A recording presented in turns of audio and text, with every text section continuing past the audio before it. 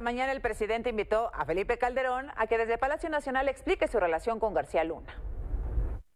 Calderón dice, si resulta que García Luna es culpable, yo voy a dar una aclaración sobre el tema. Entonces estamos esperando la aclaración. Además, aquí está la tribuna.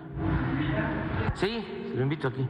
O sea, que, nos explique su relación con García Luna. Si viniera aquí, eh, nos comprometemos a que no haya preguntas, nada más que de su testimonio. ¿Y por qué decimos que aquí? Bueno, porque fue presidente, haya sido como haya sido, y no es para presumir, pero esta conferencia la ven muchos.